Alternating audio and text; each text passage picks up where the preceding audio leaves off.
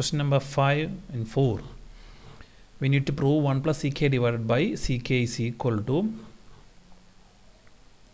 sine square a divided by 1 minus cos a. Here textbook hint is given. We need to process left side and right side separately and prove them equal. Otherwise we will try to make left side equal to right side. Both method we can flow follow. Okay i am taking the left hand side.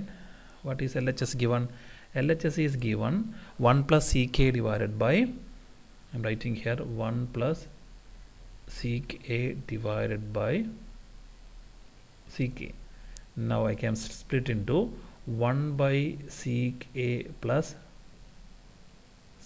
a by sec a which is equal to now sec a by sec a is 1 plus 1 by sec a is cos a now 1 plus cos a how can we convert into uh, right hand side form? In right hand side if you know there is a term 1 minus cos a so just dividing this term with the 1 minus cos a so to cancel this I should multiply numerator also with the 1 minus cos a what is this identity then? A plus b into a minus b. A plus b into a minus b is a square minus b square. So I can write this 1 minus cos square a divided by 1 minus cos a. Now from the identity 1 minus cos square a is what? Sine square a divided by 1 minus cos a.